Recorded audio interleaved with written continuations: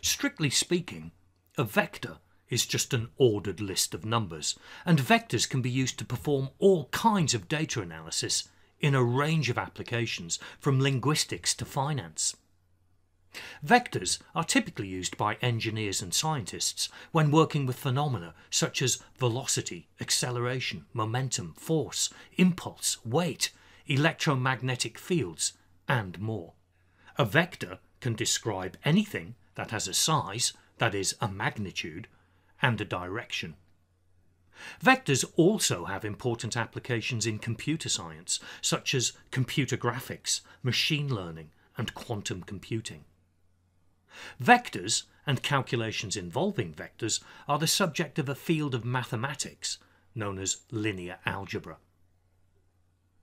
In many scientific and engineering applications, it's particularly useful to visualize a vector as an arrow of a certain length and pointing in a certain direction. For example, this car is travelling in an easterly direction at a constant speed of 20 metres per second. In other words, it has a constant velocity. This car is moving in the same direction, but at 40 metres per second. So the arrow is pointing in the same direction, but the arrow is twice as long. The actual positions of the vectors are not important in this scenario. They are said to be non-localized vectors, or free vectors. A localized vector, also known as a fixed vector, is one in which its position is important. A force acting on a rigid object is a localized vector. When the force is applied, the object might move. This vector has magnitude and direction, but exactly where the force is applied might well have a bearing on how the object moves.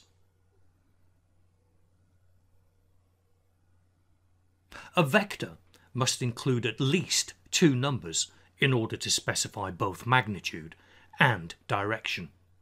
Suppose, for example, that this arrow represents the velocity of an object in an imaginary world where the ground is always flat.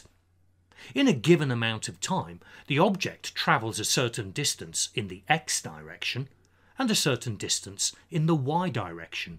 In other words, the object's velocity has an x component and a y component. For convenience, we assume that the tail of the vector is rooted at the origin of a two-dimensional coordinate system. That is, the tail is at position x equals 0 and y equals 0. Hence, the coordinates of the point at the tip of the arrow are the values that constitute the vector. In this case, the tip of the arrow is positioned at x equals 4 and y equals 3. The object is therefore moving at 4 meters per second in the x direction while also moving at 3 meters per second in the y direction. There are several different notations that can be used to write down a vector.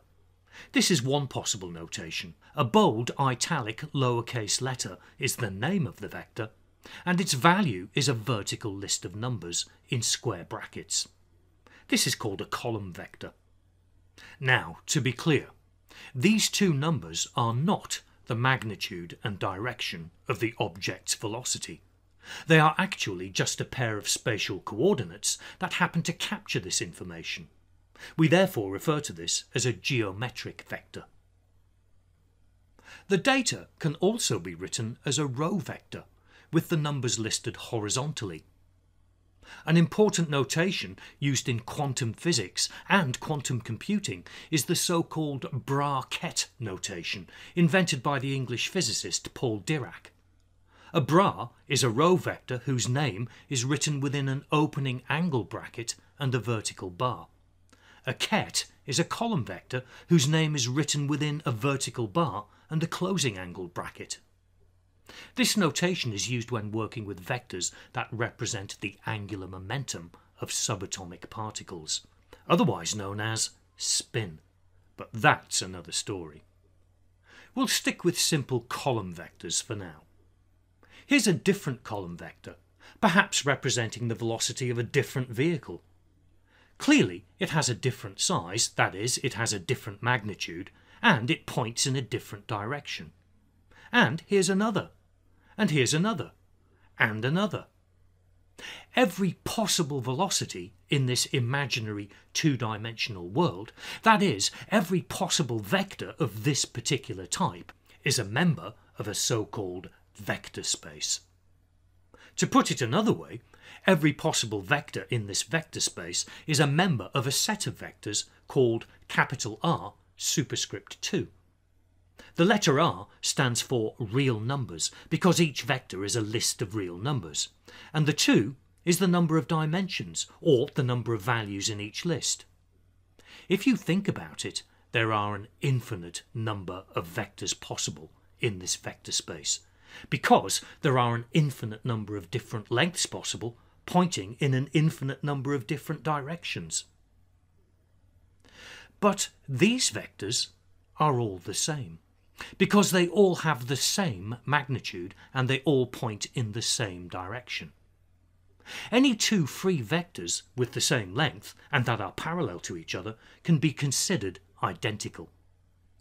When it comes to geometric vectors, the two numbers tell us only the change in x and y from the start of the arrow, not where the start of the arrow actually is. After all, these cars are all in different places, but they're all travelling at the same velocity. You can think of each free vector as having its own coordinate system. But different vectors are easier to compare when they are rooted in the same coordinate system. Vectors with a small angle between them can be thought of as being similar to each other. The smaller the angle, the greater the similarity. Vectors with a large angle between them can be thought of as being dissimilar to each other. The bigger the angle, the greater the difference. Vectors at right angles to each other, or to use the correct terminology, orthogonal vectors, are theoretically unrelated. The amount of similarity or dissimilarity between two vectors can be calculated by multiplying them together in a special way. More about that later. Vectors can also be used to describe magnitude and direction in three-dimensional space. The tip of this arrow is at coordinates x equals 7, y equals 3 and z equals 2, assuming that it starts at coordinates 0, 0, 0. So the vector can be written as a column of three numbers. All of the possible vectors in three-dimensional coordinate space are members of a set called R superscript 3. Again, there are an infinite number of vectors possible in a three-dimensional coordinate system. Finally, it's worth bearing in mind that vectors are not just for scientists and engineers.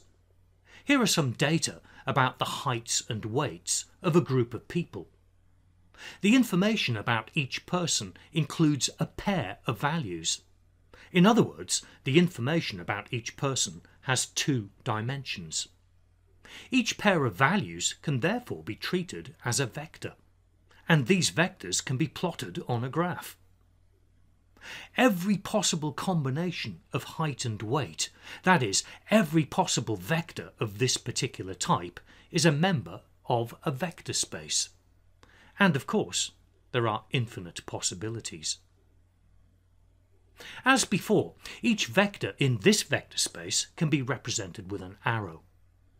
Although these height and weight vectors have no real direction per se, we can nevertheless get a sense of the orientation of one vector with respect to another. Vectors with a small angle between them are similar and those with a large angle between them are dissimilar. Orthogonal vectors are, theoretically, unrelated.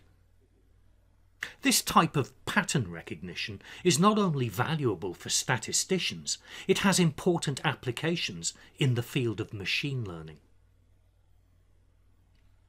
In the next video, we'll look at some of the calculations that you can perform with vectors and why you might do them.